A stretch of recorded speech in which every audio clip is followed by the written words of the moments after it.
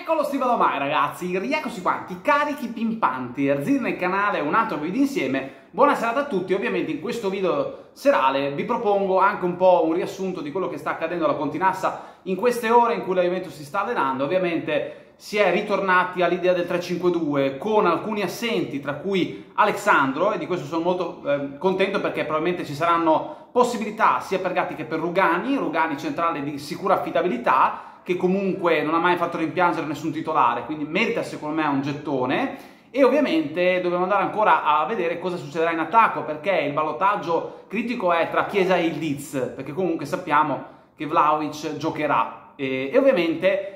si continua ancora una volta a cercare di capire se sarà un Allegri o un Allegri out, ma come vi ho detto nei video di oggi, mattina e pomeriggio, la certezza quasi assoluta è che Allegri non finirà l'ultimo anno. Ovviamente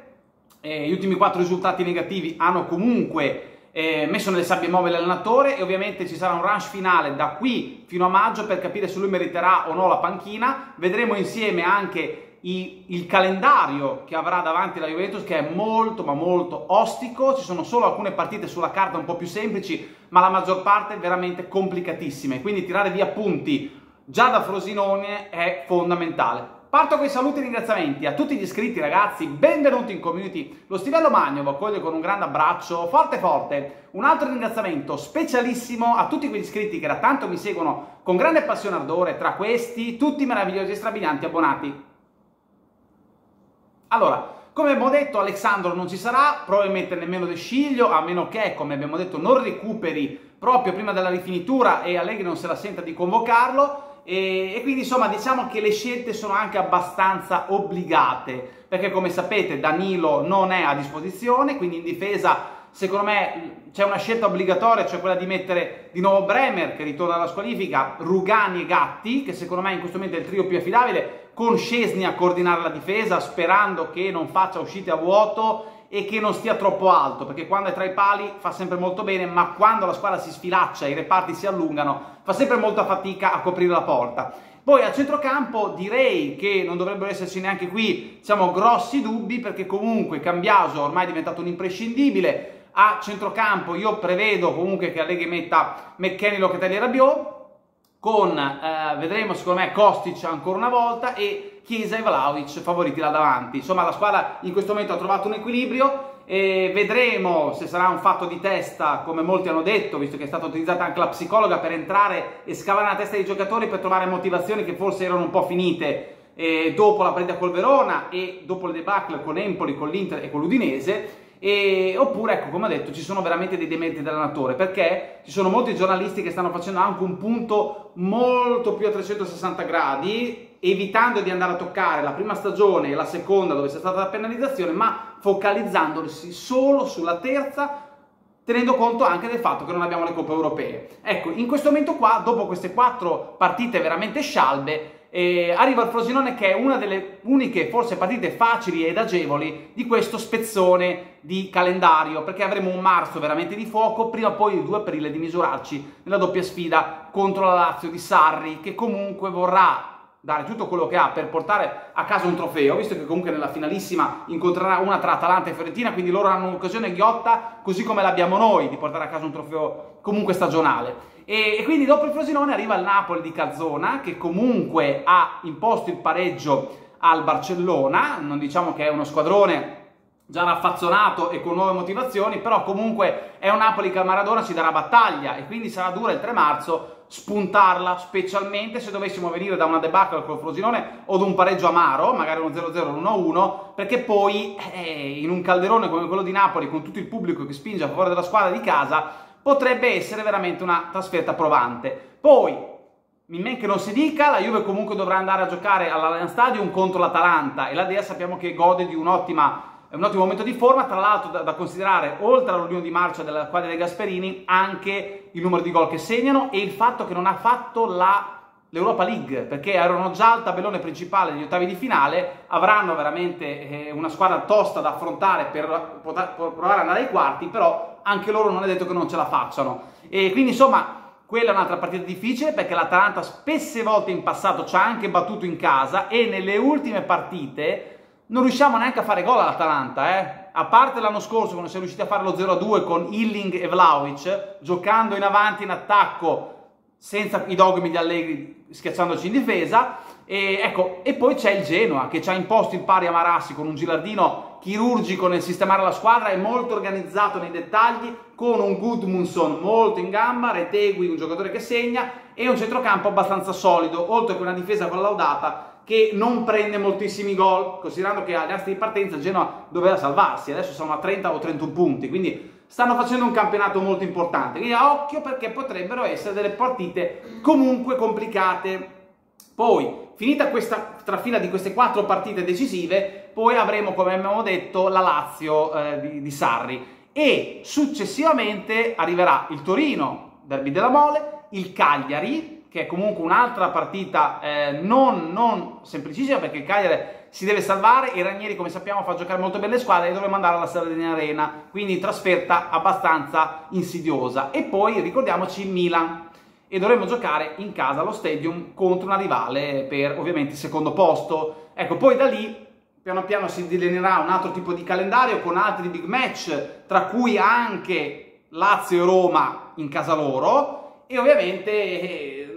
ripeto ragazzi, non è scontato assolutamente quando parliamo adesso che la Juventus possa arrivare in maniera agevole nelle prime quattro. Dipenderà tantissimo dall'approccio mentale già con lo Frosinone e poi cosa faremo in questo calendario di marzo. Quindi il mese di marzo sarà determinante per capire il finale di stagione, se riusciremo a vincere anche la Coppa Italia e se riusciremo a andare oltre il quarto posto, magari ripeto, piazzandoci secondo, migliorando il quarto posto del primo anno di Allegri, il terzo posto del secondo anno e appunto piazzandoci soltanto dietro un Inter rullo compressore. Peccato aver cestinato l'occasione di lottare per lo scudetto facendo quattro partite ignobili, lasciando stare lo sconto diretto ma perdendo almeno sette punti